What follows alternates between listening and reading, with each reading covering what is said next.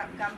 Um, I was recently introduced to this product this past season in Wellington, um, actually through a, a, mutual friend, Mary Phelps and Shireen Kukra, who opened, started the company. Um, I've been using them for about four months now, and I have to say I'm incredibly pleased with the product for several reasons. Um, one, this horse tends to be a little bit one that doesn't like to chew and draw his tongue up and not have a lot of saliva. So I used to always feed sugar. Now I've introduced him to the Gumbits and he loves them and as you can see now he's chewing and he's already showing some saliva which is a good thing for this horse. And also helps keep his tongue down um, because like I said he tends to draw it up. So it keeps the activity of him chewing throughout our ride. And He's looking for more already.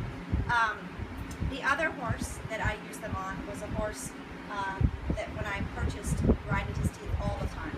Now it's basically completely gone. The Gumbits have helped it um, tremendously by starting him to learn to chew and to create that, that sensation of relaxation, which is also taken, taken grinding away. What I also love about these is for riders, not only for horses. They are very small, which means when you're wearing pants like this with little pockets, they are the size of tiny little pebbles. They're not as lumpy as sugar cubes, so you don't have this big bulge hanging out of your pants. Also, for those of us that clean bridles, it's much easier to get this sugar wax off of the bits versus the actual sugar cubes. I cannot say enough wonderful things, neither can he, um, about this product. Thank you very much.